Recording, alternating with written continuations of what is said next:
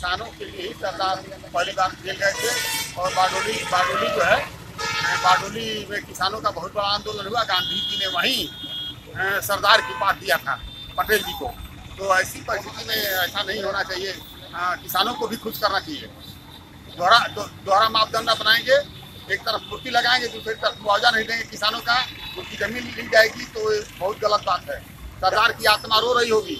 अगर ऐसा अगर किसान किसान विरोध कर रहा है तो आज सरदार की आत्मा रो रही होगी और कह रही होगी ये, ये दोहरा मापदंड अपनाया जा रहा है। ऐसा नहीं होना चाहिए। कुछ कांग्रेस के लोगों का और विपक्ष के लोगों का आरोप है कि मूर्ति मेड इन चाइना है।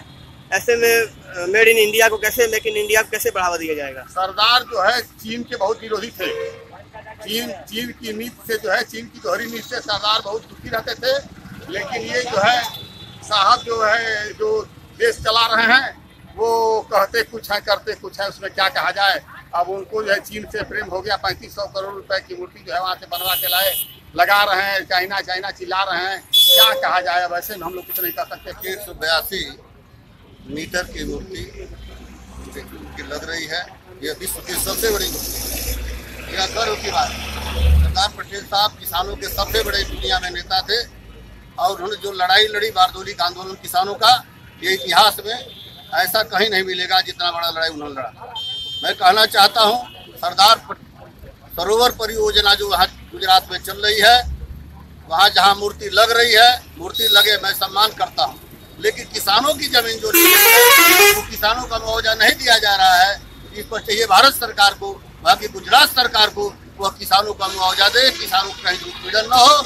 अगर किसानों का उत्पीड़न होगा, सरदार पटेल को आत्मा को बहुत बड़ा ठेस लगेगा, क्योंकि सरदार पटेल ने किसानों की लड़ाई लड़ी है किसानों को हक दिलाया है, किसानों को फ़ायदे पहुँचाया है, और जहाँ मूर्ति लग रही है, वहाँ अगर उनकी मूर्ति लगने से किसानों का हित होता है, इस पर केंद्र सरकार को विचार करके किसानों को मुआवजा देनी चाहिए, उनकी मांग पूरा करनी चाहिए। सरदार सरोवर परियोजना में जो ज़मीन गई है, उसका हक जो उनका मुआवजा बनता है, वो किसानों को दे।